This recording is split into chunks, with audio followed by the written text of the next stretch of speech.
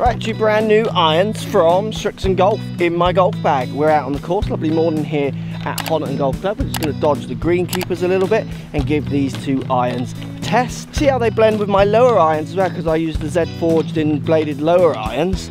So I'm quite interested to see how these new ones blend with those as well. Should be a fun one.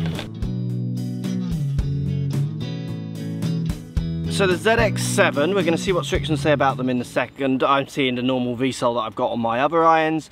Obviously we've got this little bit, they're both forged, but we've got a bit of cavity going on in the back as well, so we might see different in launches and spins, which we will get dry ball data at the end from inside. The 7 is the slightly slimmer kind of players one, and the 5, that slightly bigger look. But I say bigger, they definitely, I reckon, could be blended, which is something we're going to test, because like I said, I've got the Ford, so I go from blade actually up to a six iron in my bags. The Cleveland launcher, I go super chunky because I'm trying to manipulate lofts, but these are much more gradual steps in these two. Right, we're 175 to the flag, so I'm going to hard a hard seven with the ZX7, and then I'm going to hit a soft cut up six iron with the ZX5. Both from down by the ball, I'll be honest with you, it is quite hard to see which one is which. Like they do totally blend. Like these top lines are not far off each other at all. If I flip them up this way, you do see a thicker sole on the 6 iron, which is the ZX5. Next to no offset, it's a very classic Srixon shape that hasn't really changed over the years I've tested clubs. To be honest with you, I quite like it. If anything, maybe this one looks, and I don't know if this is true, but it just looks like I put it down like less toe end here without grooves on. It almost feels like the grooves are more across the face. I don't know if that's true or not. But very happy with how that looks compared to what it would be replacing in my bag because I wouldn't want it to change in looks because I think it just does look good. And if I look at online comments, that's one of the kind of overriding things is people do love the look restrictions when they test them. So hard seven. Again, that feels no different to what I'm used to. Lost it a bit in the sun. And there it is, left side. Nice shot. Um, yeah, the feel is exactly what I'm used to in the others. Uh, apart from it being clean, shiny, maybe slightly different look on the face, possibly. I wouldn't know that wasn't the 7 iron I normally gain in the old one. And again, for me, that's just a good thing. So now I'm going to do the 5, cut up soft little 6 iron. I think it's so important when you test I'm going to show you dry ball standard data numbers at, uh, at the end of this video from inside. But testing irons for me is about hitting all these shots I want to hit with the different clubs. That's really how I'm going to get that nice test rather than just trying to bomb them down the range, which is something that so easily people get mixed up in. Cutty little six iron, again that didn't feel any different, up the left side as well actually. Yeah, they're both almost in the exact same spot. Control. It's kind of that Ford sound, solid. I mean, should we go and see what Srixon are saying about these clubs? So let's see what Srixon are saying about these two irons. So ZX5 comes with a MainFrame. So the mill pattern on the back side of each ZX5 iron face maximizes COR for more ball speed and more distance on every shot. So again, they're talking about trying to move COR up on as you move away from the middle of that club, start mishitting. We're going to try and all they're trying to keep up those ball speeds. The ZX5 also has progressive grooves. Grooves in the 8 iron through the pitching wedge are sharper, narrower and deeper. So for more spin, stopping power on approach shots into greens. So they're changing the grooves from the long irons through to the short irons again, try and give you control. We see the Tour VT sole as well on these irons that we've seen in prior models and it's a multi-piece construction iron. So we get tungsten in the toe of the ZX5 long iron and mid iron so 3 to 7 iron. Increased MOI from that and stability and forgiveness they're saying a forged SUP 10 face enhances speed and distance while a forged 1020 carbon steel body absorbs vibration for extremely soft feel. So if we see how that compares to the ZX7. So in the ZX7 we see the progressive grooves from the 8 iron through the pitching wedge. We see the same Tour VT sole. Multi-construction again ZX7. Long irons 3 iron to 7 iron for MOI and then 1020 carbon steel body for feel. So the same as the ZX5. And then in the ZX7, we see the Tour Cavity. So the mass repositioned to the sweet spot of the ZX7s and the perimeter to provide remarkably soft feel at impact and increased workability is what Srixon say. So similarities between the two clubs, but also they're slightly branching away in their tech to try and really dive into the kind of players they're aimed at. So this is what I want to see when I'm testing irons. I want to see max distance, kind of minimum distance, and I want to see a control of distance. So I'm across the two clubs there, the seven and the five, but I'm able to hit the shot that I wanted to hit. The club's enabling me to do what I want. And I think that's something that's sometimes lost in fittings. It does get so launch, monitor, number, smash, smash, smash ball centric. Yes, I want to know how far I can hit them. Having less club into greens definitely is going to help me. But I need to know how the soft ones and the controlled ones, the higher, the lower ones, the less spin, the more spin ones, are going to go as well. Which is often where this kind of on-course testing, if you can get a chance to do it, is so much better. If you can't, I understand people get upset when I say, no, can't all get on the course. I get that, I get that. You can do this inside as well. You need to just not be going faster, faster, faster, faster, and ending up like with your fastest hit, which is often the way a fit goes. Control as well as speed. It's a good thing to practice when testing. But that's what I want to see, distance control. So let's take a look at these two four irons. You can see the thicker sole here on the five to the seven with the more kind of what you'd call players gaming sole. So both the same design, it's just one in theory might offer what we call help. Now I've done tests on this. If it offers more help, that's debatable. What I would be expecting to see from these clubs, which we'll test like I say on the indoor numbers, is it define how you define help I think is what people get lost with and certainly with my testing what I think is where people get a bit mixed up. The thicker sole on the 5, certainly in an iron like a 4 and I don't game, I use hybrid, when my launch starts getting compromised, so it cuts, gets getting a little bit low, certainly if you put me in rough, and if the launch comes down, then my distance drops, so this club doesn't do what a 4 iron needs to do, it drops back to my 5 iron, which then makes it a pointless club. The added launch that the 5 gives me over the 7 in theory is where I think the help comes from off centre hits, I reckon it's so minuscule, you would have to be a serious stat taker over a few seasons to see the difference in that. But if you don't mind the looks and you believe that it does give you a little bit more help off centre hits, then giving that away would be pointless. Like you could use it. It's like your choice, I think. So we're gonna go seven to start. When I put it down by the ball, it's next to an offset. It's a great looking four iron. You know, if I had the speeds and power to whip this from all over the place, yeah, I get it's romantic. And when I compare it to the five, you see no dip. It's a slightly thinner line, but it's hardly noticeable. You don't see any of the club out the back, which I like, even though you do get the chunkier uh, sole in that five. It's not coming out the back, which I like. And both of them seem to have very similar appearing offsets. So seven, theory the harder the hit one.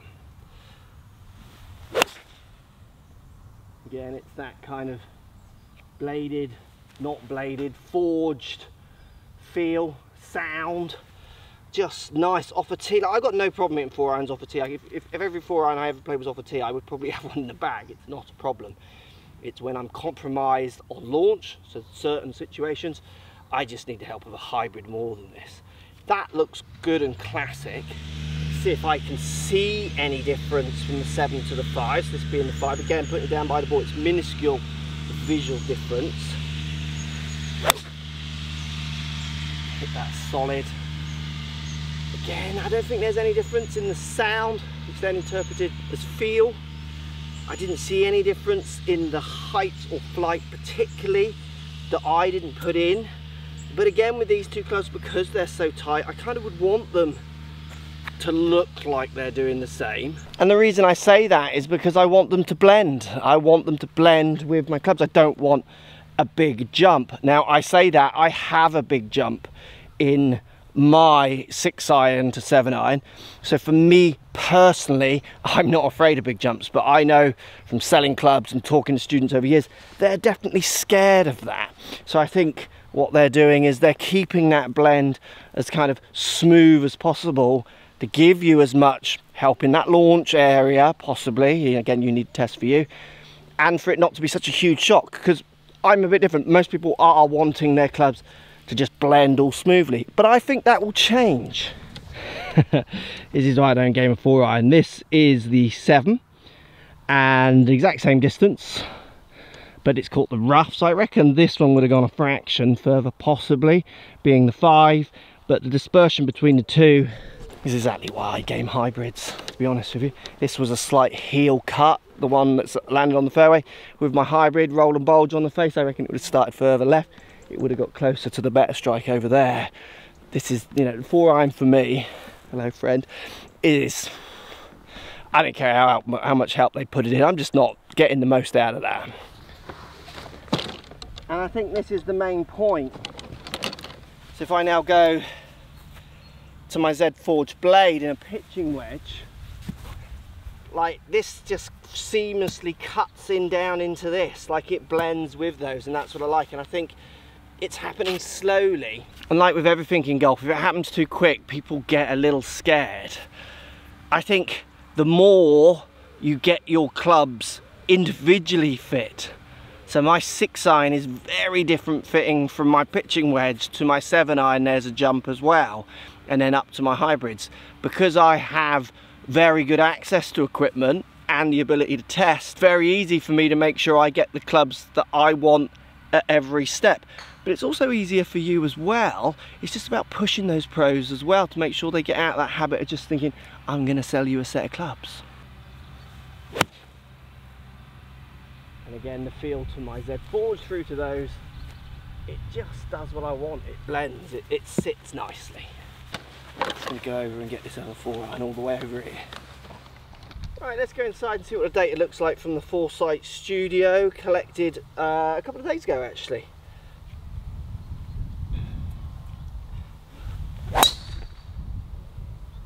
Let's go and see if we actually are seeing a difference between these two irons. So let's look at the 9 iron data first. Uh, ball speeds across the two clubs very similar. Launch angle then slightly changing. So you can see the 7 is launching a fraction lower than the ZX5.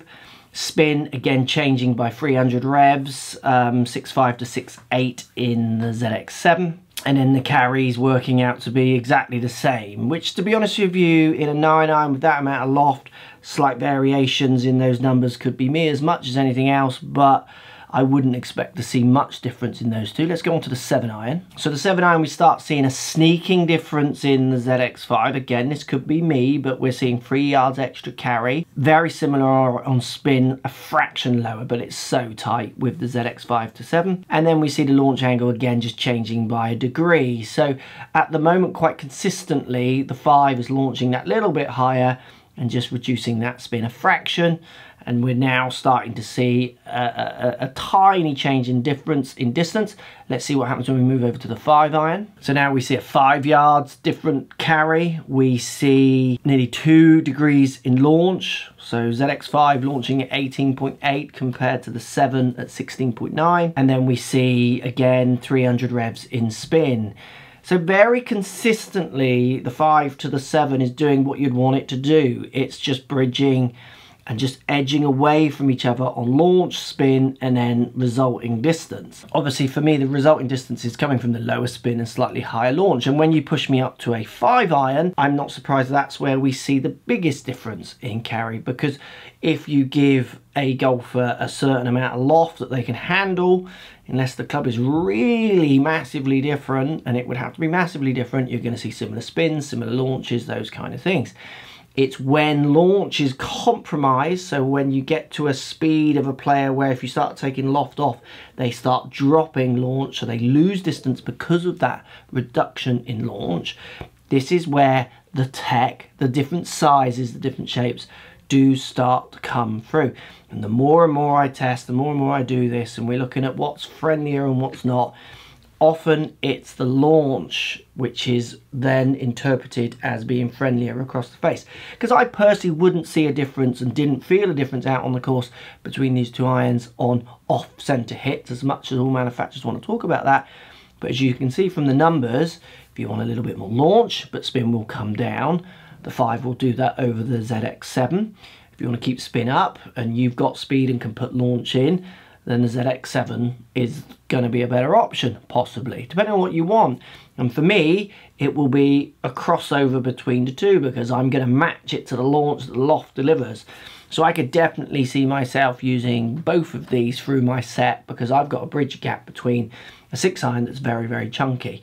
And I can see these being a great option for people like me who want to blend. And I honestly think this is where the clubs will go, getting each club individually fit rather than getting fit for sets has to be where this moves. I've got a video coming on this shortly with my set and new in the bag as I talk to you how I've integrated these clubs, which one's into my bag. Let me know in the comments down below if you're keen and you want to see that. There you go, ZX7, ZX5. Um, post comments down below. Let me know, have you played Srixon Irons before or not? Have you tested them? How did you go? They were better, they were worse. Let me know down in that comments. You love the look of them, you hate the look. Again, let me know down there. If you didn't buy a set, or you did, what were they up against? What beat them and what didn't beat them when you were testing them? I'd love to hear. So for me, really excited that the looks are as good and as classic as before. The feels are very much in line with what I had before. And the launch characteristics are very much in line with what I had before. If you had a set of clubs that you've recently bought, would you be going out and rushing and buying these? I would say go and get fit if you wanted a new set, but you probably don't need to. Like these, these are just performing good. They're not outperforming anything, they're just performing nice and solid. If you're looking at a new set of clubs, ZX5, ZX7, definitely something you should put on the test list and I would be really interested to know if it is something that you did like or not. Thanks for watching. Let me know what you think. As always, um, like I said, I've got new in the bag coming. Post comments down below. Let me know if you want to see that or not, because it is quite a fun video, how I blend my set so massively around a certain area. And I think it's a place where lots of people can really learn. And I think the stepping in these clubs is a really good conversation and we saw it with, I've seen it with Titleist, TaylorMade now as well, um, Ping are doing it, different sets of irons that are actually trying to be very similar because I do think the blended set is where we're going. The tour players are already doing it because they're trying to maximize each shot. I think we should be doing it as well. Thanks for watching everybody.